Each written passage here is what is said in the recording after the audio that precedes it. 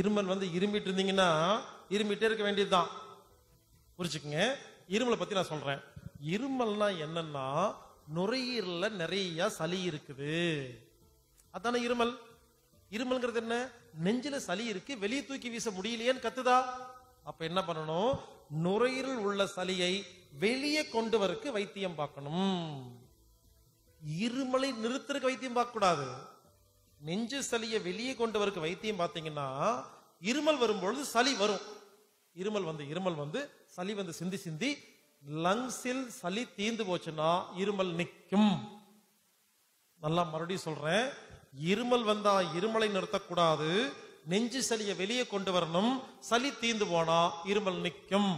நேரடியாக இருமலை நிறுத்தருக்கு வைத்தியம் பார்க்கக்கூடாது. நெஞ்சில் உள்ள சளியை எப்படி வெளியே கொண்டு வருதுன்னு சொல்லி கொடுக்குறாங்க. அதுக்கு இப்போ உண்மையிலேயே நோட் பண்ணிக்கங்க. சில விஷயங்கள்லாம் சொல்றேன். சின்ன வெங்காயம். இப்ப நான் சொல்றதெல்லாம் நெஞ்சு சளியை வெளியே கொண்டு வரக்கான வைத்தியங்கள். சின்ன வெங்காயம். பெரிய வெங்காயம் கிடையாது. சின்ன வெங்காயம். ஸ்மால் ஆனியன் துளசி இலை. துளசி லீப் கற்பூர வள்ளி இலை. இந்த ஓம இலைன்னு சொல்லுவாங்க. நல்லா தடியா இருக்கும். கற்பூர வள்ளி இலை. மிளகு பெப்பர்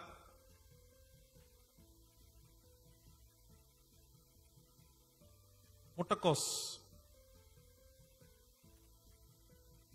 தூதுவளை இலை. சின்ன வெங்காயம் துளசி இலை கற்பூரவல்லி இலை மிளகு தூதுவளை இலை முட்டைக்கோஸ். இதெல்லாம் சளியை வெளியே கொண்டு வரக்கான மருந்துகள். இதையெல்லாம் பச்சையாவோ வேவிச்சோ சமையல்ல சேர்த்தோ என்னமோ பண்ணுங்க.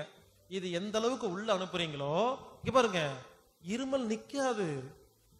இதெல்லாம் உள்ள அனுப்பிச்சா இருமல் வரும் அது கூட சளியும் வரும்.